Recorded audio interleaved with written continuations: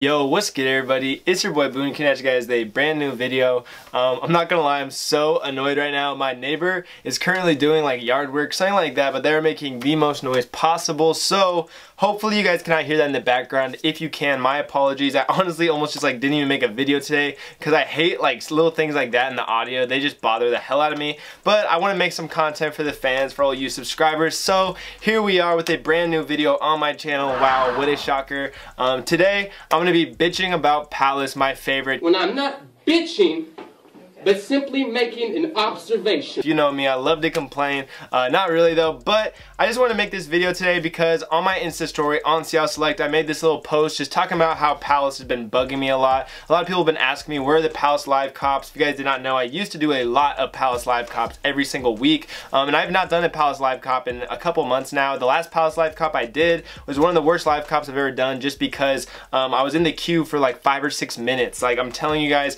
the Palace website is is absolute garbage. Before we get into all that, you already know I gotta show off the heat, so um, I only have one item to show off today, unfortunately, but it is a banger. We have the Supreme um, Sumo t-shirt. If you guys did not know, this is the original Supreme advertisement. Well, not the original, the first Supreme advertisement they ever did. It was in a magazine. Um, it's just got this little sumo wrestler print, which is really cool, very clean, nothing too insane. It's just that homie putting his hair up, kind of like me. Like, I could low-key be the sumo uh, wrestler, you know what I'm saying? If I just put my hair up, that'd be a funny ass uh, recreation to do. Never catch me with my hair up ever. I start looking like my mom. Shit gets sus. So uh, we're gonna move on from that. Shout out to the homie Sean for that though. We did a little exchange. Um, I gotta send him some Kappa pants now off my website. Go check that out if you guys would like to. The last little thing I want to say before we jump into this video about Palace is just a thank you to everyone that showed support on my video from yesterday. Um, it was just like a more creative video talking about my ideas for Supreme and you're gonna see a lot more creative videos having to do with Supreme now that the season's coming to an end. I don't have any rest mode. There's no snooze button on this channel.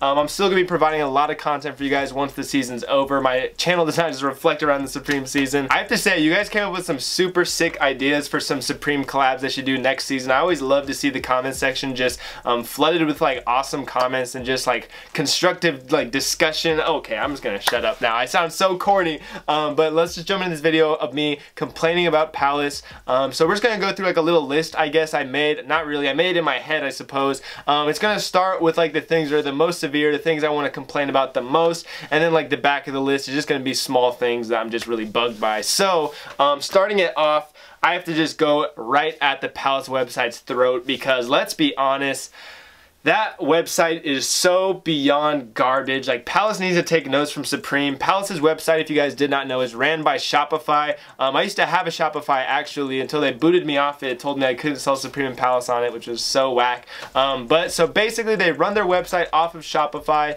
and that's cool and all. Shopify is a cool little like service, whatever. However, the issue with Shopify is it's the easiest um, website to bot of any website when it comes to buying stuff for retail. Some of you guys may have noticed this with like like the most recent seasons, even like last season, stuff has been starting to fly. And not just like fly, should be like teleporting. Should be going faster than when you pull up on an Abra in Pokemon and just teleports out of there. Like that's every single hype item on Palace this year. Um, it beyond annoys me. Like I'm gonna try to show you guys a little highlight actually right now of the last Palace drop I went for live in a live cop. And you can see what my experience was like. oh, this is so frustrating, dude. I feel like I've already taken an L. It's already been a minute. Probably the most frustrating live cop I've ever done on Palace. Like this is un unreal, bro. Like you still, I'm still not even through the queue. It's been four minutes. Like I actually think I'm going insane from looking at this stupid checkout screen. Yeah, it was not good. I was so annoyed. Just a waste of my time. That's why I don't go for Palace anymore. Just, it's literally impossible for manual users. Like some of you may know that Palace Reverse OT dropped last um, week, last Friday, and I thought that was an awesome t-shirt. I would have loved to go for it.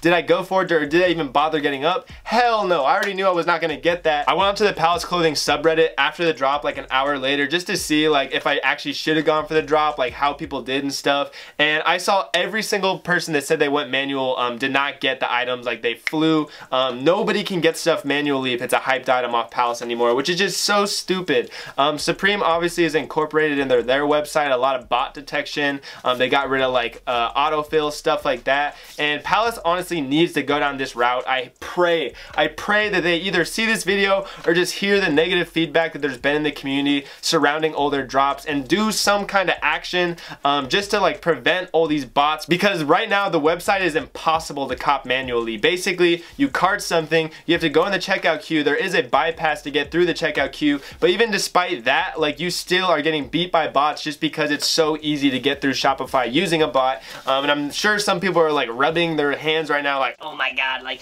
Boo just put me onto the fact that you can bot Palace. I'm gonna bot everything now. If you're like one of those people, I absolutely hate you and you are the reason I'm not gonna be buying Palace anymore. Um, there are some other reasons though, so I guess I should stop complaining about this one issue. I will say it is the biggest reason I'm making this video because I just had to like call Palace out for this. It's absolutely absurd that you disallow any manual user to get any product they want from you. Um, you're just only serving the resellers and the bot users and I'm a reseller myself obviously. The difference though between me and bot user resellers is they get like 10 or 20 of the most hyped item um, and all separate carts and all have like that item sent to their house while I just go manually get like three or four items fair and square and just like get them secured, resell them. Like it's totally fair in my opinion if you resell going manual. I mean, you have the exact same odds of getting everything as anyone else so it's not like they can be mad at you. Um, however, when you start using bots, that's when it gets ridiculous, but we're gonna jump into my next point now. So my second point of just like annoyance with Palace is the repetition in their designs and I'm sure some people are gonna fight me on this because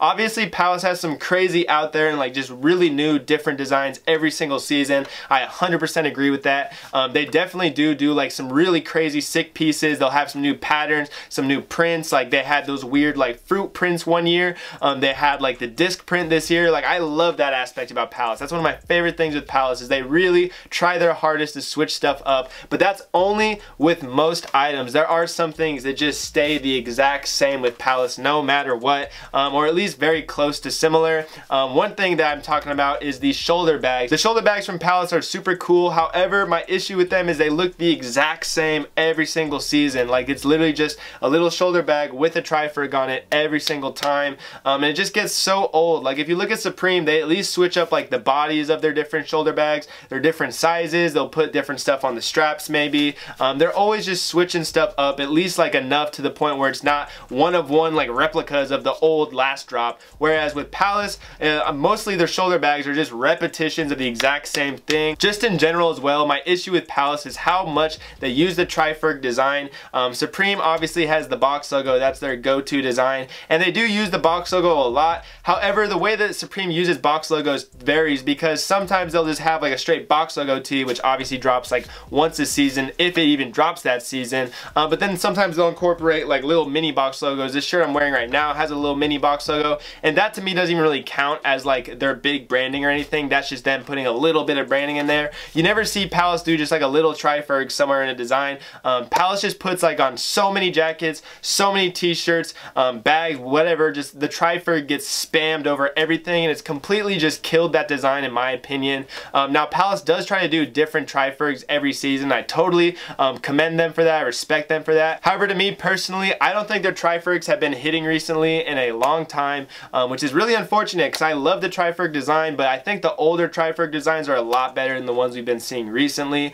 I don't know why that is, to be honest. Maybe it's just like Palace trying to be too different, um, but I just, I don't know. I'm just getting so sick of the Triferg. I like, whenever I see an item with it on there, um, I see people going crazy like, oh my god, this shit's so hard. And then when it actually drops, no one really buys it. No one can resell it because there's probably five or ten other jackets that look the exact same as that jacket. Um, now, don't get me wrong, the Triferg is an amazing design. I absolutely love it, almost more in the box logo even. However, I think it just gets spammed to hell on Palace designs and it just gets old. I will say Palace is trying very hard, I feel like, to use different um, prints, like different fonts and stuff like that and I totally commend them for that again. Um, shout out to you pals. Just keep trying your best to come out with like ingenuitive stuff new designs because that's what we all want. We don't want the same old stuff but at the same time I want to see less Triferg stuff. Um, maybe some of you will fight me on that but I don't know. I'm just sick of it and I think it's killed the Triferg design a lot for me at least personally. Alright so those are two of my biggest points. Now we're gonna get into my smaller points that aren't really like that big of a deal but I just figured why not?